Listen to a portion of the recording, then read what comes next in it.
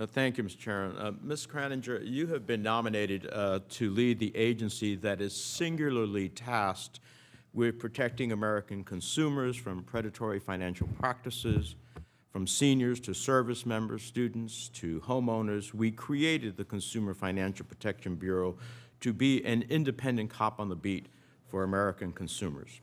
When we met, and I appreciate you coming by, you told me that your management experience at OMB has prepared you for this role. So I want to ask you about that, specifically about the administration's response to Puerto Rico. Hurricane Maria tragically killed thousands of people, resulted in the longest blackout in U.S. history, and left Puerto Ricans without access to clean water for weeks. It took FEMA only two weeks to send Texas almost three times the amount of staff that it sent to Puerto Rico more than two months later. Now, I sent you a letter asking for information about your role in Puerto Rico, and I asked for a response by this past Monday. You failed to provide one. As it turns out, I have emails that demonstrate your involvement in the Trump administration's response to Hurricane Maria, although these are not emails that you provided to us. In my office, you told me that you were not only were you involved in the response to Puerto Rico through your oversight of FEMA, Treasury, and HUD, but that you oversaw the development of disaster aid requests to Congress. So let me ask you here, and please provide me some brief responses, because I think factually we probably both know the answers. In the first aid package that Congress passed after Hurricane Maria, most of Puerto Rico's aid came in the form of a community disaster loan that can only be forgiven at the discretion of the Secretaries of Treasury and Homeland Security, an unprecedented condition not applicable to Texas or Florida. Is it true that Puerto Rico had to wait five months to receive this funding? Yes or no? Uh, Not exactly, Senator. The, the CDL loan was actually an unprecedented amount of resources being provided that Congress uh, deemed appropriate, making five available months to get the money? $1.5 billion. Did they wait five months to get the money?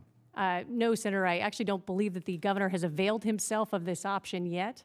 Uh, At the same time, it is an unprecedented amount of money that is Well, let me- available Let me tell you what happened, since you seem to have a different recollection. The administration unjustifiably withheld the loan from Puerto Rico, arguing that it had a cash balance at the end of 2017 and therefore didn't need the money. I'm sure there were cash balances in Texas and Florida.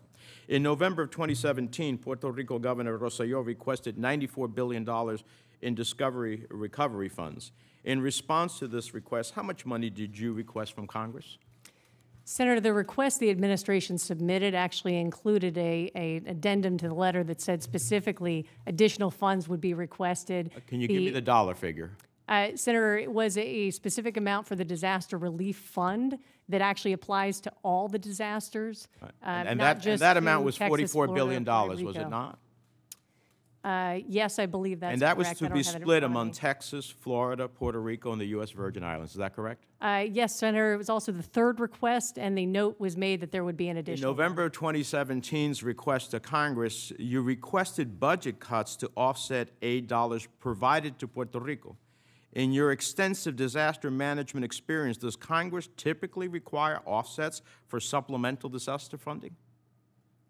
I- I'm sorry, Senator, does the Congress normally Typically require offsets Oh, for offsets. supplemental disaster funding. Senator, is, I, I, I- my role specifically at, at OMB is certainly to make recommendations. These are the requests that the president is making and that the, an- Office of Management. Is the answer yes or no? Does Congress typically require offsets for supplemental disaster funding? It has been You a and I both common know the answer is conversation. no. It has been a common conversation in recent years, definitely. But again, it's the prerogative of Congress. It's not a common conversation. The answer is no. You should know that. You know that. It's a conversation that, that has been had, Senator, and I, I appreciate your perspective on it. Did you? Amazing. Did you advocate for unprecedented policies that would have conditioned Puerto Rico's receipt of disaster relief funding for, on the oversight of the island's unelected and unaccountable control board?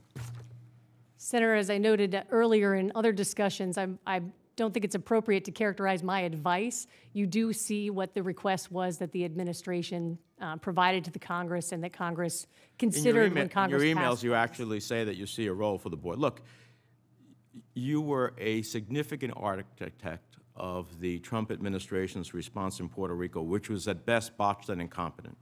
At worst, it reflects the administration's most insidious views about Hispanic Americans. Three and a half million American citizens who just happen to call Puerto Rico their home, but they're American citizens like you and I are, face their darkest hour, and instead of turning to help them, you pinch pennies. And worst of all, I think you treated them like second class citizens. That does not give me the faith that when you're going to have to stand up for seniors, service members, students, homeowners against some of the biggest financial institutions in this country, that you'll do that. If you couldn't do it for the people of Puerto Rico, I don't know how you're going to do it for anybody else. And they are U.S. citizens, Ms. uh, Kraninger.